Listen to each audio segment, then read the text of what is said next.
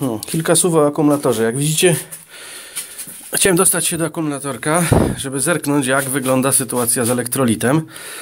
451 km przejechanych zaledwie. No i chciałem zobaczyć. No i okazało się, że elektrolitu brakuje, jest poniżej. Oczywiście nie było też rurki, która powinna odprowadzać, e, odprowadzać płyn. Płyn kapał tutaj w to miejsce. Już widać, że troszeczkę nawet to takie przyrdzewiałe miejsce. No ale założyłem przewodzik, dorobiłem wszystko. No i puściłem go tam. Były miejsca gdzieś, gdzie można puścić przewodzik. No i teraz go muszę tylko przyciąć na odpowiednią długość. No, przewodzik już przycięty, zamontowany. No i przy okazji zamontowałem sobie ładowareczkę. Mam Oximisera. Mm, no i założyłem sobie na stałe tutaj końcóweczkę. No, Oximiser fajny jest, bo za zakładasz na stałe, podłączasz i pod siedzeniem mam, mam wtyczkę. Tą wtyczkę wystarczy zdjąć siedzenie, podłączyć akumulator, podładować. Wiadomo, na warunki zimowe to robi. E, oczywiście można też akumulatorek wyjąć, w miarę łatwo się go wyjmuje, chociaż dziwne jest to, że jest odwrócony drugą stroną, to znaczy stan czy poziom, żeby zobaczyć, trzeba go wyjąć całkowicie, z, z, ponieważ jest odwrócony, z tamtej strony są klemy. Także akumulatorek już na miejscu, płyn uzupełniony do właściwego poziomu maksymalnego.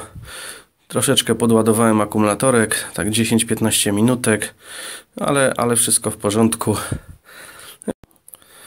No i zaraz będziemy e, składać. W miarę proste tutaj e, złożenie. Tu, tu mamy tylko na wcisk. Raz, dwa, dwie śrubki tutaj, dwie śrubki od góry i zamontowane zakładamy siedzonko. Dwa wciski są w tym miejscu. No i potem są już tylko śrubeczki. Jedna, druga i, i dwie od góry. W sumie cztery. A tak Oxymixer wygląda. Mm, jak widzicie, Oxymiser 888, jakiś urodzinowy model, nie wiem, kupiłem go dwa albo trzy lata temu. Teraz widzicie, po 10 minutach i dolaniu e, wody destylowanej, no bo tam było troszeczkę brak w akumulatorze, mm, daje prąd 0,22 chyba miliampero na sekundę. A, na pewno ktoś w komentarzach napisze, jaki to jest, jaka to jest, jaki to prąd. No w każdym razie tak on wygląda. Można sobie oczywiście po uruchomieniu i można tu guzikiem włączyć o podświetlenie, niebieskie podświetlenie. Ono tylko chwilkę świeci, potem się wyłącza. Powiem Wam, że używam go teraz, będę go używał trzeci sezon. Poprzednio na, na poprzednim motorku, czyli na e, e, RS-ie Pro 125 też junaczku. No i super sprawa, bo można włączyć go nawet na stałe na zimę, jeżeli jest długa zima e, i nie jeździsz, on utrzymuje cały czas właściwe napięcie, nie przeładowuje. No z tym, że jeżeli go się włączy, tak jak to jedną zimę miałem, że był włączony przez powiedzmy 4-5 miesięcy, no to na wiosnę trzeba uzupełnić elektrolit. No bo wiadomo, że tam e, on stara się utrzymać jak najlepszą e, temperaturę i, i, i tam warunki, parametry tego akumulatora, no więc on troszeczkę mm, jak są, jak są duże mrozy, on go ładuje dość mocno, więc no powiedzmy elektrolit raz w roku i tak trzeba, akumulator przynajmniej raz w roku trzeba, trzeba, trzeba sprawdzić.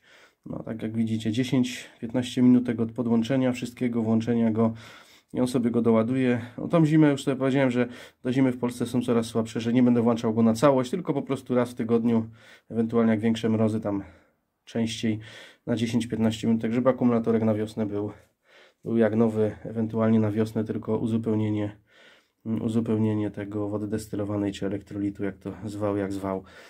Um, oczywiście wiadomo, do akumulatorka dolewamy tylko, tylko wodę destylowaną. Elektrolit tylko przy pierwszym, przy pierwszym wlaniu.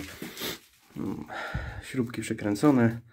Jedna, druga i dwie tutaj od góry. W miarę prosty montaż na, na imbusa. No i tutaj te dwa, te dwa bolce, które są tutaj, które trzymają całą tą, całą tą osłonę. No i teraz po ładowaniu wystarczy odłączyć e, wtyczkę. Tutaj macie wtyczkę. Odłączam, zamykam, zabezpieczam przed wodą.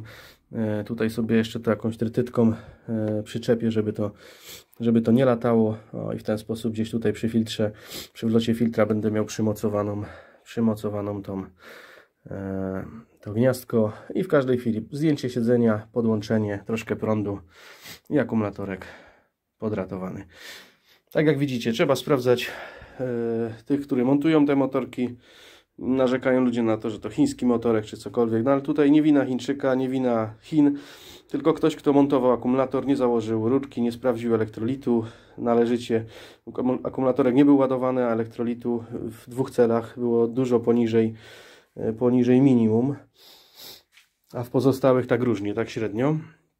No oczywiście po podłączeniu akumulatorka musiałem ustawić jeszcze, e, musiałem ustawić e, e, zegar, no bo zegar oczywiście po, po rozłączeniu wskazywał wskazywał godzinę 000. Nie wiem, coś nie chce mi złapać ostrości tak jak trzeba. O właśnie teraz. Ok. No i to na tyle. Sprzęt nazywa się Oxymiser. Nie wiem, może są lepsze. E, ale ten u mnie się sprawdza trzeci sezon i naprawdę fajna, fajna sprawa. Jak widzicie, teraz podłączył sobie e, i ładuje, i ładuje mocniej, czyli on sobie sprawdza akumulatorek i teraz uznał, że, że musi go ładować. Dlaczego? No, ponieważ zapaliłem światła, przekręciłem kluczyk, automatycznie akumulator zaczął się rozładowywać. Oczywiście kamerka z automatu startuje, bo już tak jak Wam mówiłem, kamerka idzie non-stop po odpalonym zapłonie no i wyłączamy. Dobra, dzięki za uwagę. Trzymajcie się. Zobaczycie teraz po wyłączeniu, jak będzie wyglądać sytuacja jeszcze. No, teraz już zmniejsza prąd ładowania. Ale chwilkę potrzebuję, żeby doładować to, co zużyliśmy na włączone światła, zapłon i tak dalej. Trzymajcie się, do następnego filmu. Na razie.